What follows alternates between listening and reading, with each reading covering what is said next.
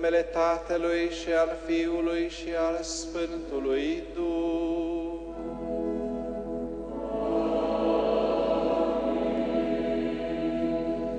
Harul Domnului nostru Isus Hristos și dragostea lui Dumnezeu Tatăl și împărtășirea Sfântului Duh să fie cu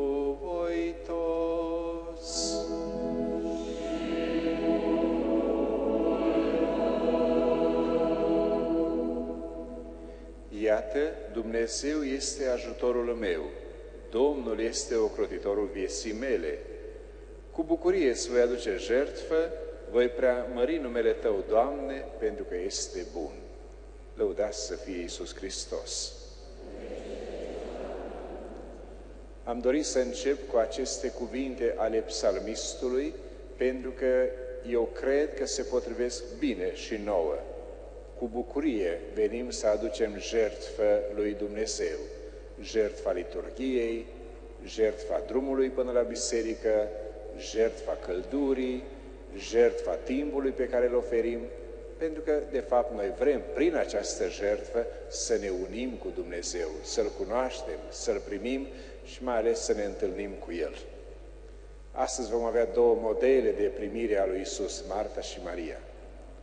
Ca și ele, vrem să spunem, Doamne, bine ai venit în casa noastră sau bine vii în inima noastră. O inimă care cred eu că trebuie puțin pregătită, dispusă pentru așa întâlnire cu Dumnezeu. De aceea, la început, acum cerem iertare lui Dumnezeu pentru tot ceea ce în inima noastră ar fi necorespunzător cu venirea lui Dumnezeu. Mărturisesc lui Dumnezeu Atotputernicul și vouă, fraților, că am păcătuit prea mult cu gândul, cuvântul, fapta și omisiunea, din vina mea, din vina mea, din prea mare vina mea. De aceea rog pe Sfânta Maria, pururea Fecioară, pe toți îngerii și sfinții și pe voi, fraților, ca să vă rugați pentru mine la Domnul Dumnezeul nostru.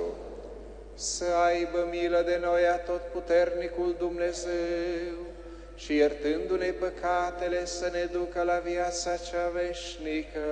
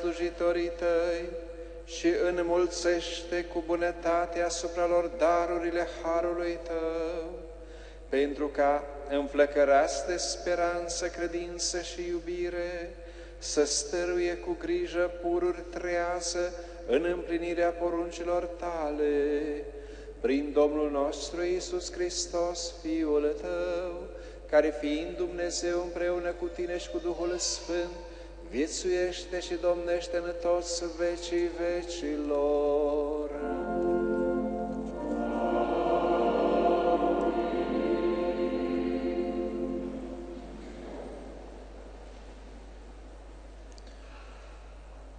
Citire din Cartea Genesei. În zilele acelea, Domnul i-a apărut lui Abraham, care ședea la intrarea în cort în timpul arșiței de la amiază. Abraham și-a ridicat ochii și a văzut trei bărbați care stăteau în picioare în fața lui.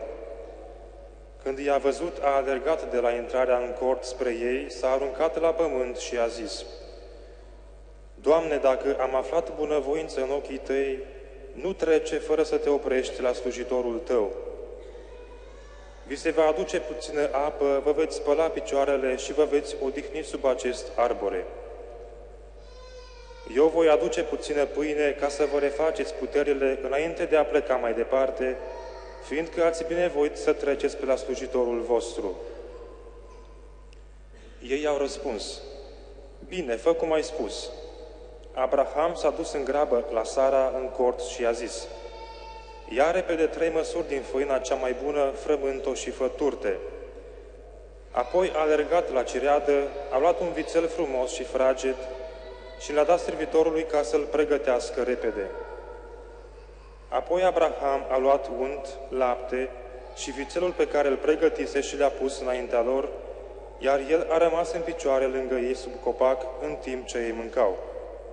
Ei l-au întrebat, unde-i Sara, soția ta? El le-a răspuns, înăuntru un cort. Domnul i-a spus, voi veni din nou la tine peste un an, atunci soția ta va avea un fiu. Cuvântul Domnului.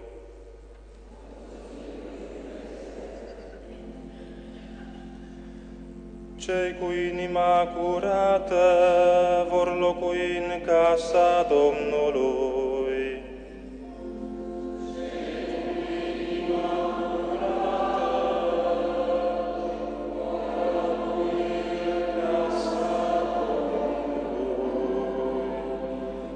Cel care duce o viață curată săvârșește ceea ce este drept. El spune adevărul din inima sa și nu clevetește cu limba lui. Cei cu inima curată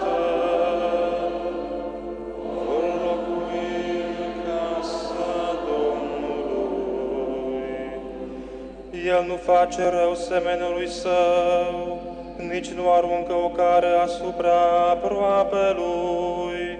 Pe cel rău îl socotește vrednic de dispreț, dar îl cinstește pe cel care se teme de Domnul.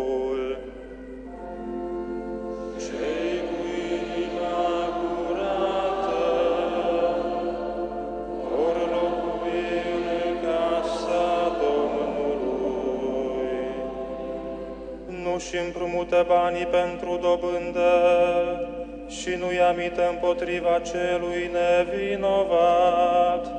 Cel care se poartă astfel nu se clatină niciodată.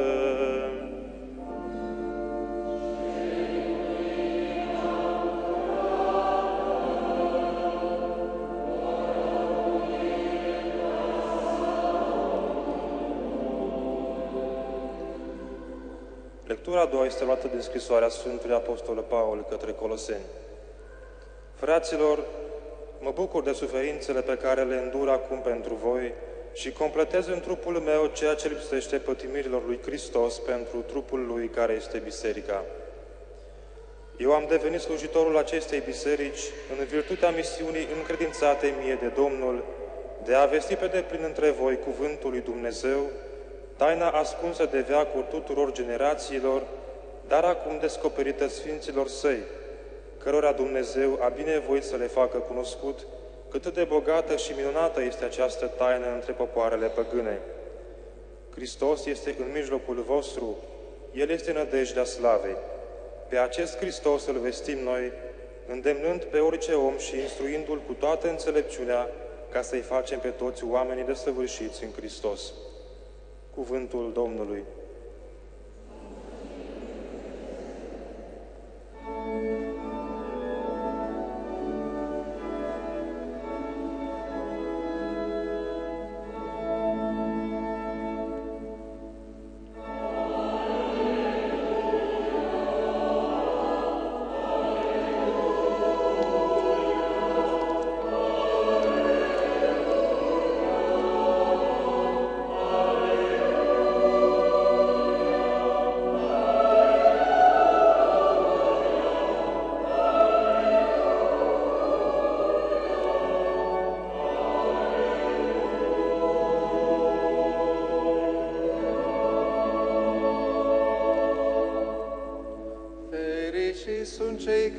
Păstrează cuvântul lui Dumnezeu într-o inimă curată și generoasă și aduc roade bogate prin răbdare.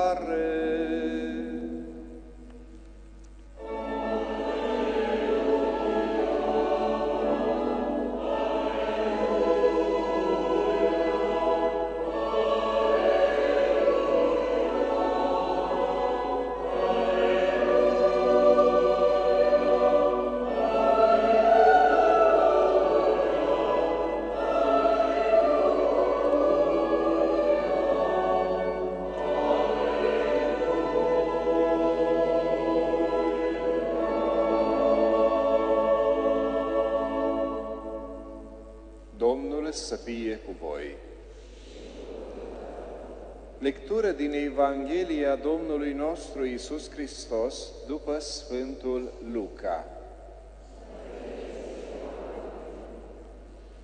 În acel timp, Isus a intrat într-un sat. O femeie cu numele de Marta l-a primit în casa ei.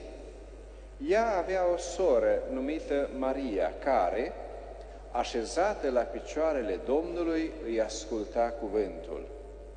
Marta, în schimb, era ocupată până peste cap cu o mulțime de treburi. De aceea s-a dus și a spus lui Isus, Doamne, nu-ți pasă că sora mea m-a lăsat singură să slujesc?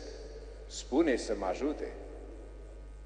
Dar Domnul i-a răspuns, Marta, Marta, pentru multe te zbați și te frămânți, Însă, un singur lucru este necesar. Maria și-a ales partea cea mai bună care nu îi se va lua. Cuvântul Domnului.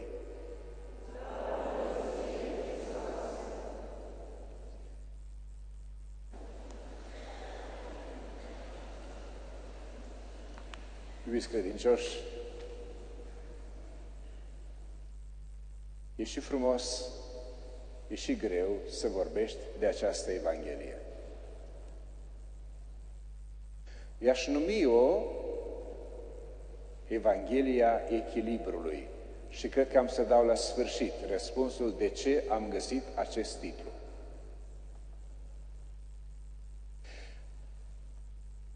Ați observat, bănuiesc, duminica trecută, că se vorbea despre samariteanul milostiv – între Ierusalim și Ierihon.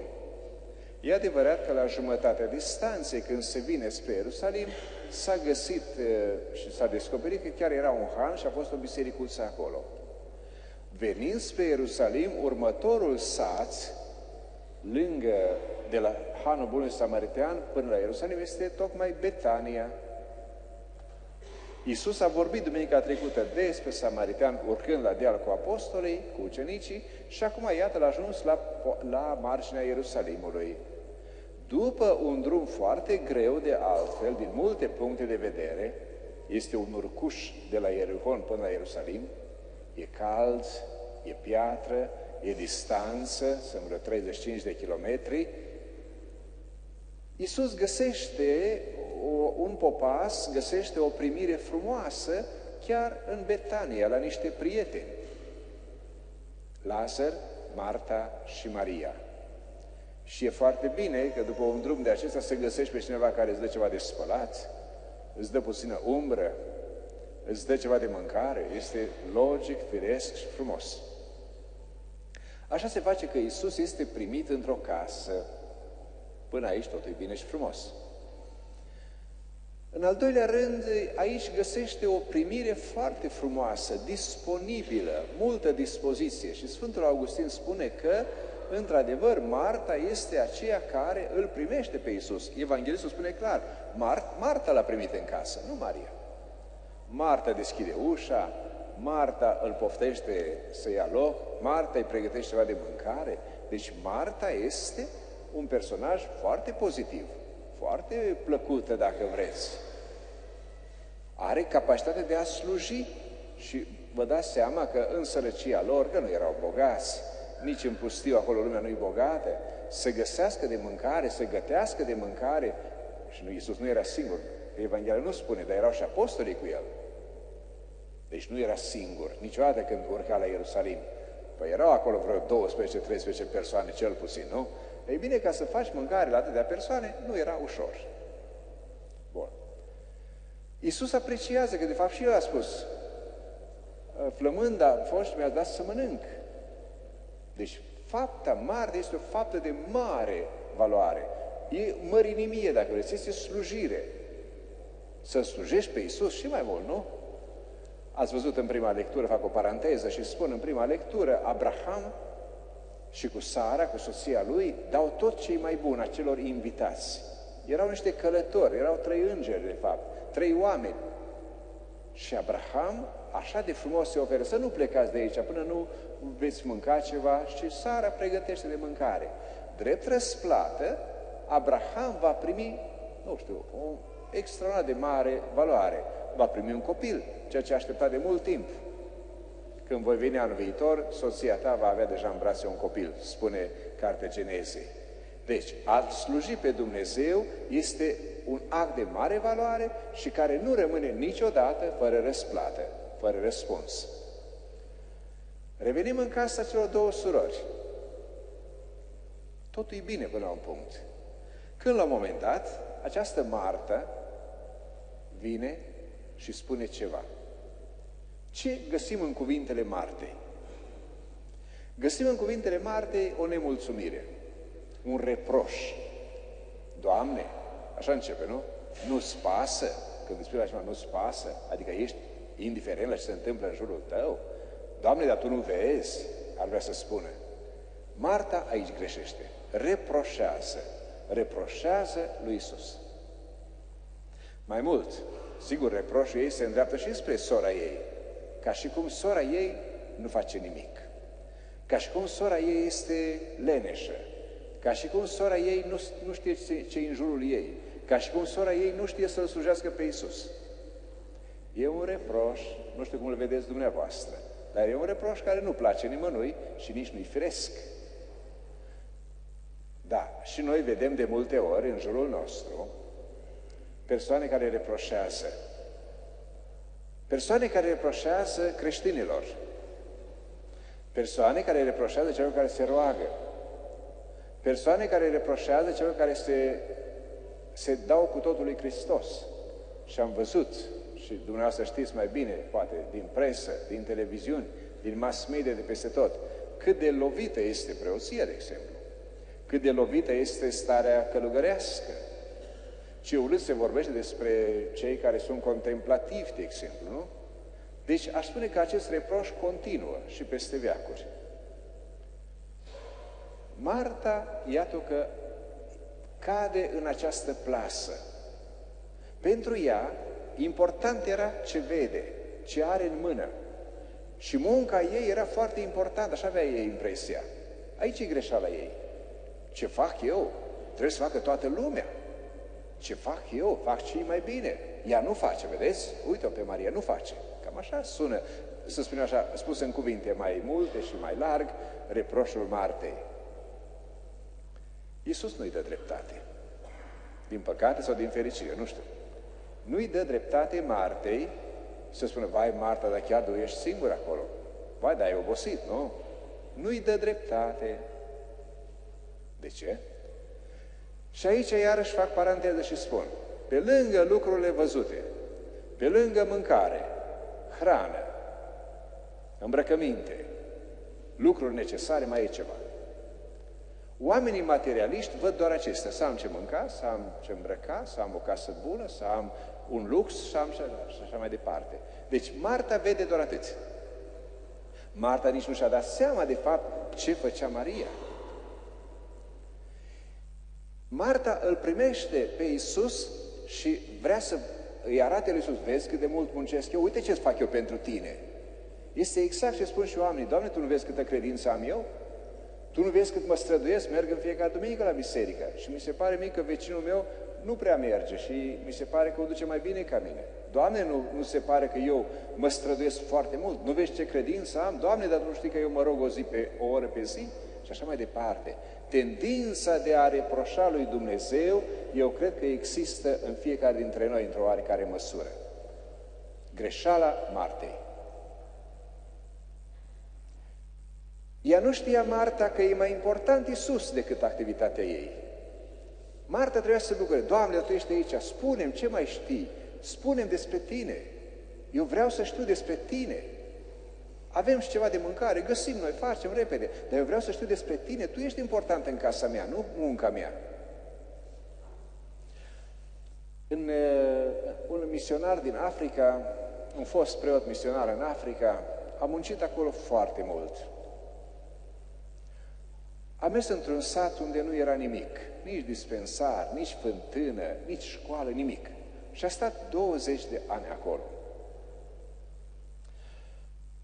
După 20 de ani, din cauza unei bolți, a trebuit să plece. S-a îmbolnăvit și a plecat.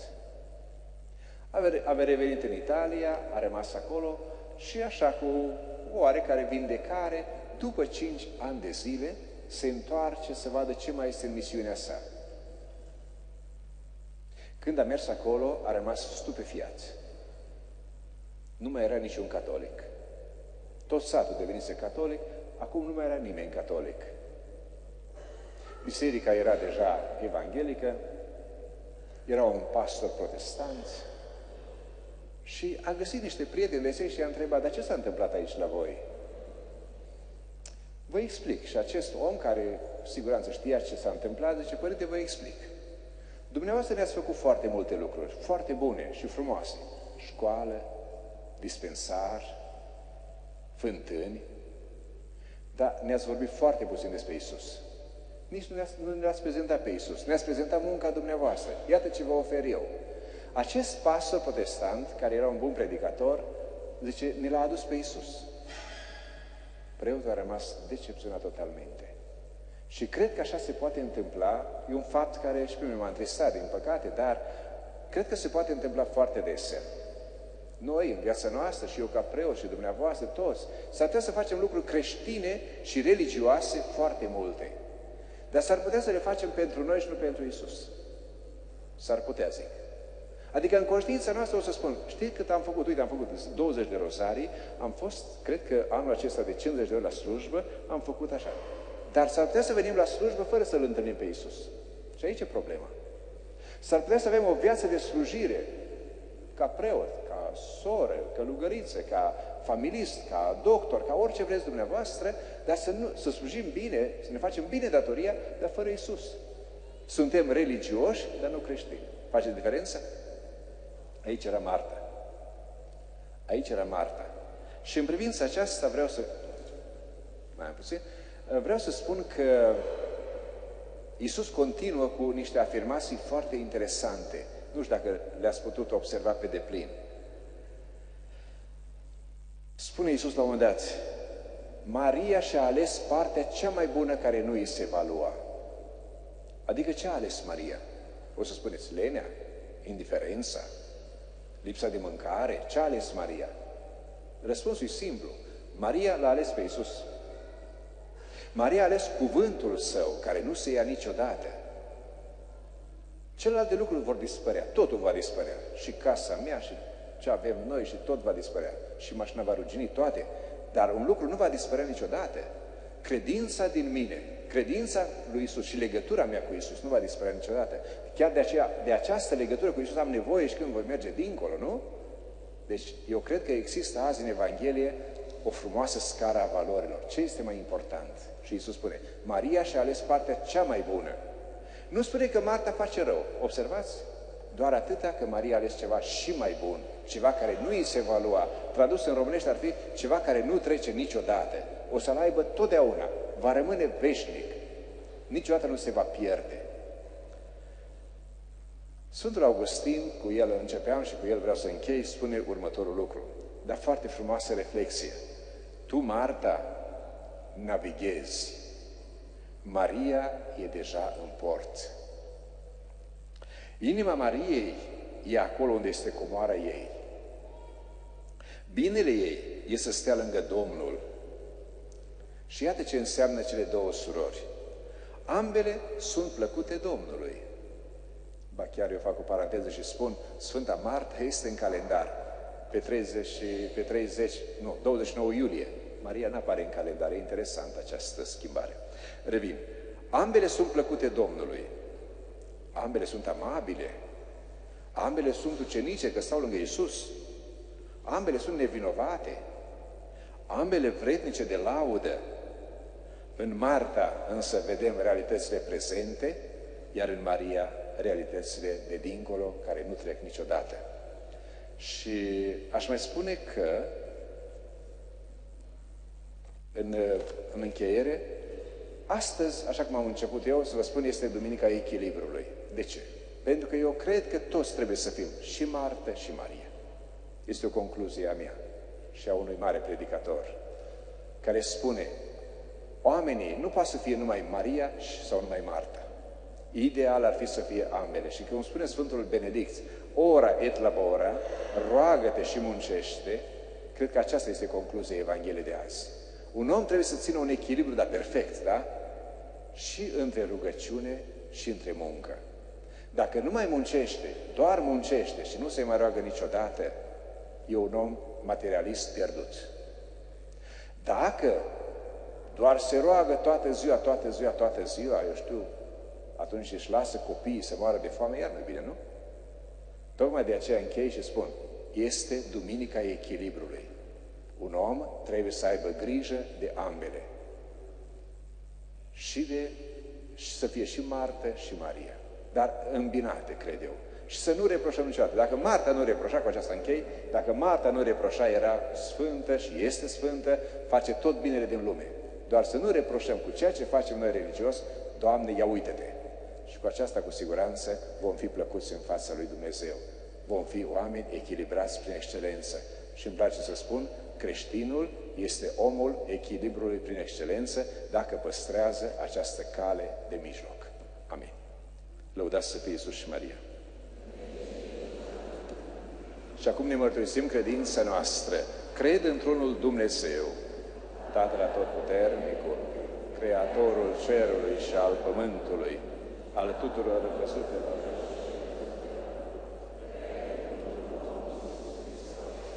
Fiul lui Dumnezeu, unul născut, care din Tatăl s-a născut mai înainte de toți vecii, Dumnezeu din Dumnezeu, lumină din lumină, Dumnezeu adevărat din Dumnezeu adevărat, născut de arnuc, prin care toate s-au făcut, care pentru noi oamenii și pentru a noastră mântuire s-a întrupat de la Duhul Sfânt din Maria Fecioară și s-a făcut om. S-a răstignit pentru noi sub Pons Pilat, a pătimit și s-a îngropat, a înviat a treia zi după Scripturi și s-a suit la cer și are de-a dreapta Tatălui și iarăși va veni cu mărire să judece pe cei vii și pe cei morți, a cărui împărăție nu va avea sfârșit. Cred în Duhul Sfânt, Domnul și de viață Dătătorul, care de la Tatăl și de la Fiul procede, care împreună cu Tatăl și cu Fiul este adorat și preamărit și a grăit prin proroci. Cred într-una sfântă, catolică și apostolică biserică, mărturisesc un botez spre iertarea păcatelor, aștept învierea morților și viața veacului ce va veni. Amin. Fraților preibiți, știind că la sfârșitul vieții va trebui să dăm cont în fața lui Dumnezeu de toate gândurile, cuvintele și faptele noastre, să-L rugăm pe Domnul nostru Isus Hristos, căruia i s-a dat toată puterea în cer și pe pământ, să aibă milă de noi. Doamne Iisuse Hristoase, judecătorul celor vii și al celor morți, dă-le slujitorilor bisericii tale harul ca prin cuvânt și exemplu să lumineze conștiințele tuturor și să-i susțină pe calea împlinirii poruncilor tale. Luminează pe educatori și pe conducători să fie pildă bună pentru cei încredințați grijilor. Păstrează viu în noi gândul că, întrucât avem nevoie de iertarea Ta, suntem datori să iertăm și noi întotdeauna aproape lui nostru. Te rugăm, ascultă -ne. Nu îngădui ca vreunul dintre noi să moară înainte de a se fi împăcat cu Dumnezeu. Aduți aminte de ostenelile și suferințele pe care le-ai îndurat pentru noi și fii îndurător la judecată. Primește în fericirea veșnică pe credincioși și reposați. Doamne Dumnezeule atot stăpânitor, Tu i-ai dăruit omului libertatea de a alege binele sau răul, viața sau moartea. Ai milă de noi toți și luminează-ne să te alegem întotdeauna pe Tine, pentru a ne putea bucura de iubirea Ta în toată veșnicia, prin Hristos Domnul nostru.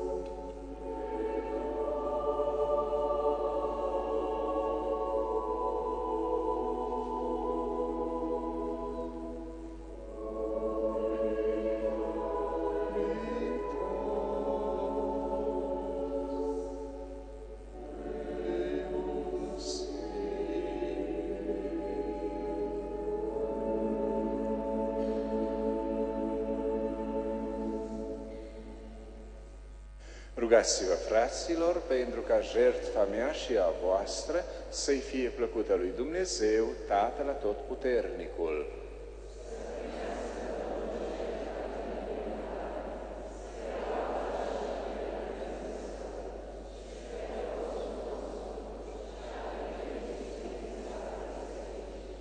Dumnezeule care ai desăvârșit mulțimea jertfelor din legea veche, prin jertfa unică și deplină a lui Hristos, primește darurile slujitorilor tăi credincioși și sfințește-le cu binecuvântarea ta, precum odinioare darurile lui Abel, pentru ca ceea ce îți oferă fiecare spre cinstirea maestății tale să fie spre mântuire tuturor, prin Hristos Domnul nostru.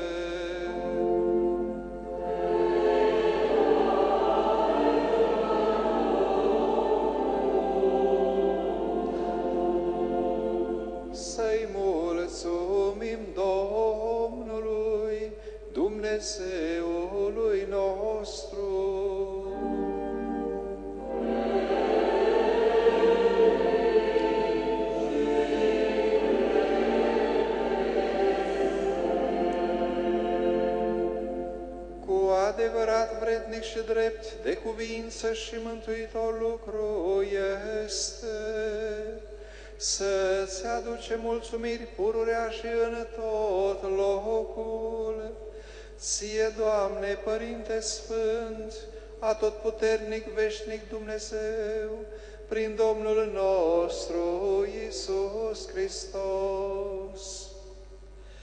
El, milostivindu-se de rătăcirile omenești, a binevoit să se nască din Fecioara Maria și îndurând chinul crucii, ne-a eliberat de moartea cea veșnică, iar înviind din morți, ne-a dăruit viața fără de sfârșit. De aceea, cu îngerii și arhanghelii, cu tronurile și stăpânirile, și cu toate corurile oștirii cerești, cântăm imnul măririi tale, zicând fără încetare.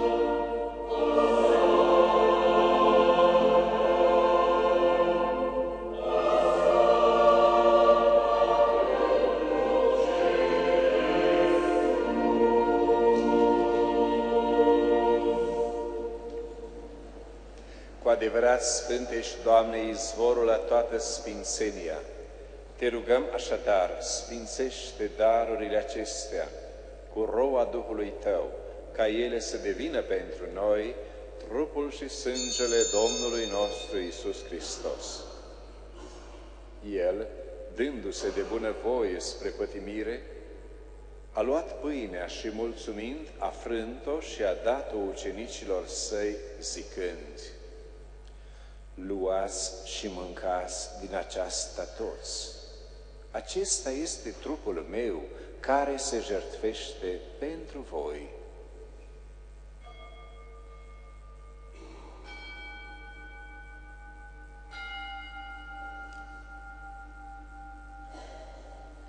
De asemenea, după cine luând potirul și din nou mulțumind, l-a dat ucenicilor săi zicând,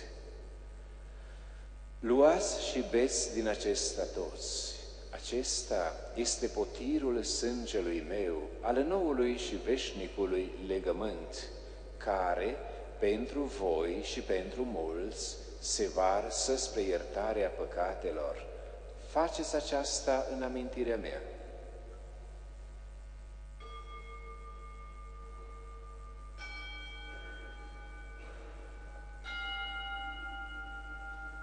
Misterul credinței.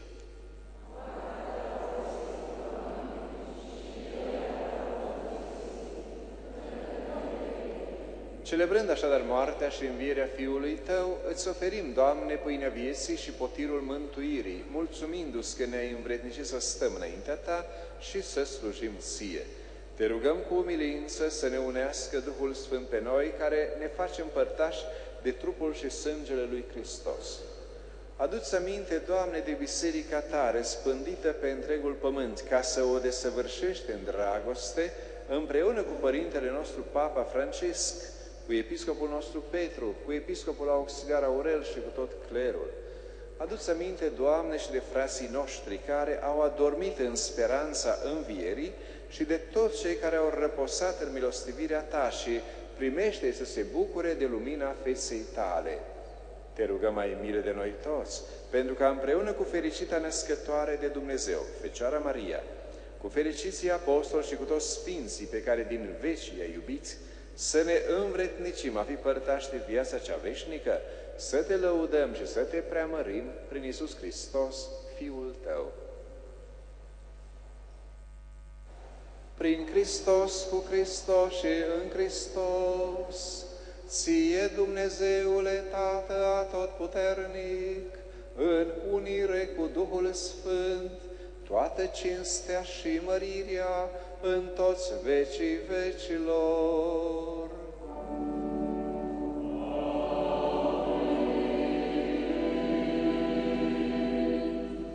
Și acum toți împreună să ne rugăm așa cum ne-a învățat Isus. Tatăl nostru, care ești în ceruri, sfințească-se numele Tău, vie împărăția Ta, facă-se voia Ta, precum în cer, așa și pe pământ. Pâinea noastră, cea de toate zilele, dă-ne-o nouă astăzi și ne iartă nouă greșelile noastre, precum și noi iertăm greșiților noștri și nu ne duce pe noi în ispită, ci ne mântuiește de cel rău. Mântuiește-ne, te rugăm, Doamne, de toate relele și binevoiește a da pacea în zilele noastre, pentru că ajutați de milostivirea Ta să fim pururea liberi de păcat și feriți de orice tulburare, așteptând speranța fericită și venirea Mântuitorului nostru Isus Hristos.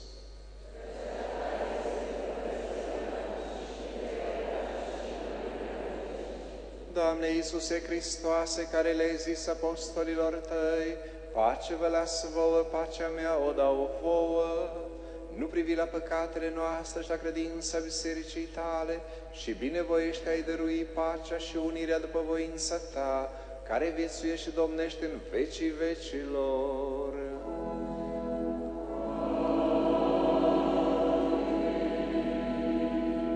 Pacea Domnului să fie pururea cu voi.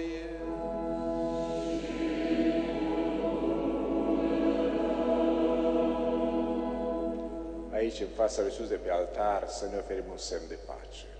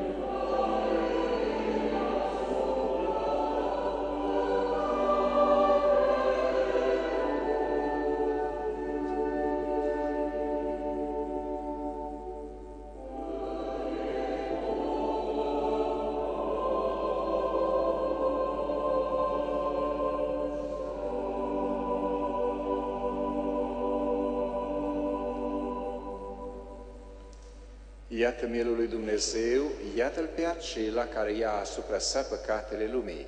Cine mănâncă în această pâine va trăi în veci.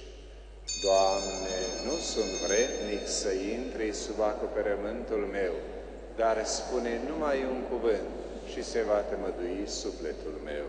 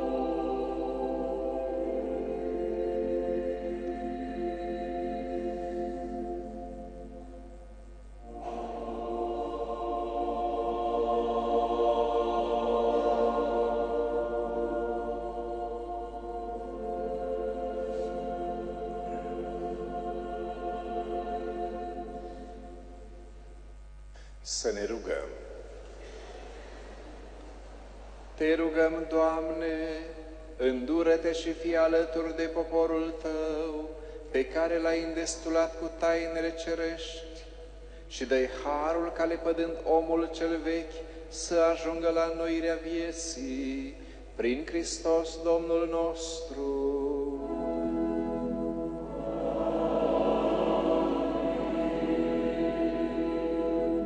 Îngerul Domnului a vestit Mariei. Bucură-te, Marie, cea plină de har, Domnul este cu tine, binecuvântată ești tu între femei și binecuvântat este rodul trupului tău, Isus.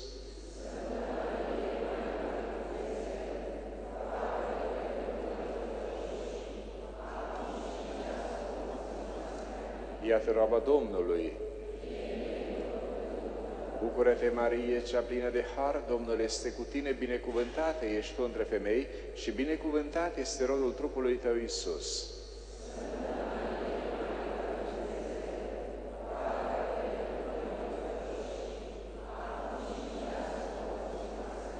Și cuvântul s-a făcut trup.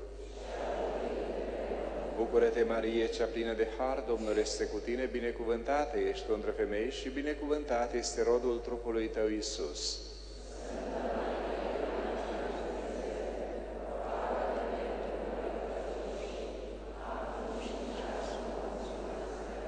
Roagă-te pentru noi, Sfântă Născătoare de Dumnezeu. Să ne rugăm. Te rugăm, Doamne, să reverși harul Tău asupra sufletelor noastre, pentru ca noi, care am cunoscut, prin vestirea Îngerului, întruparea lui Hristos, Fiul Tău, să fim duși prin patima și crucea Lui la slava învierii, prin același Hristos Domnul nostru. Amin. Slavă Tatălui și Fiului și Sfântului Duh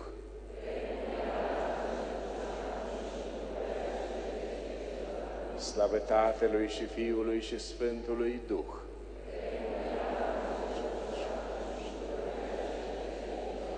Slavă Tatălui și Fiului și Sfântului Duh.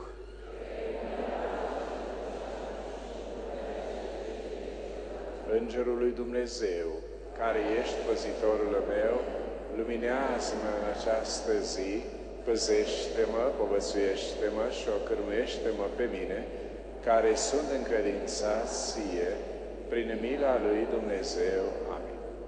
Cu pruncul Iisus. Așa cum deja se știe, în data de 31 august, la București, va fi beatificat Monsignorul Vladimir Gheca. Sigur că suntem invitați noi, cei din Dieceza de Iași, să participăm la acest uh, eveniment de mare importanță pentru Biserica din România. Tocmai de aceea, din Iași, se organizează un autocar care va pleca sâmbătă de aici, va fi cazare la București, undeva unde vor găsi acolo într-un cămin studențesc și vom participa a doua zi la uh, celebrare. De aceea, cei care doresc să participe la acest eveniment, să se înscrie. Uh, se pare costul este cam de 60 de lei pentru acest drum. De aceea, cei care doresc și aș vrea să participe cât mai multă lume, se pot înscrie de pe acum la biroul parohial. Acestea fiind spuse, vă doresc tuturor o duminică și o săptămână frumoasă și binecuvântată. Lăudați să fie Iisus Hristos!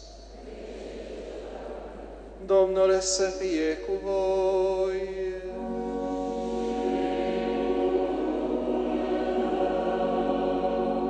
Să vă binecuvânteze atotputernicul Dumnezeu, Tatăl și Fiul și Sfântul Duh.